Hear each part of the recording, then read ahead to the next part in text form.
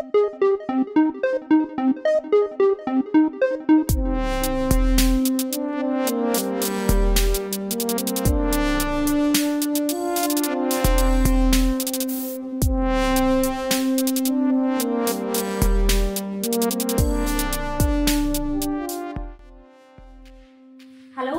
welcome to Minute Article. I would like to talk about Agile that is standing on the deck with its time honored approach towards project management. As a matter of fact, Agile has well established its status, marking itself as the most popular framework among the project managers.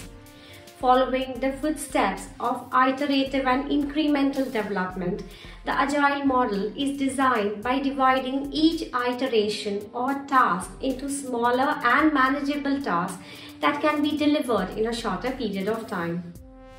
Based on the concepts of flexibility, transparency, quality, and continuous improvement, the Agile model encourages continual planning, learning, improvement, team collaboration, evolutionary development, and early delivery.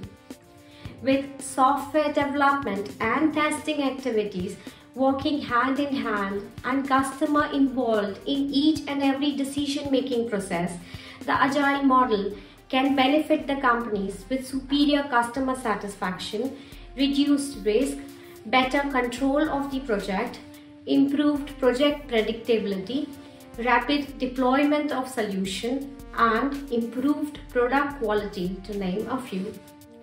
Competing at a faster pace to meet the intense demands of competitions and tighter deadlines, will the inadequate knowledge of agile methods lead to a potential pitfall?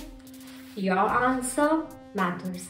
If you like my articulation, please do not forget to like, share and subscribe to Minute Article. Next Thursday, I will be back again with some more new insights. This is me, Madhu Desai, signing off.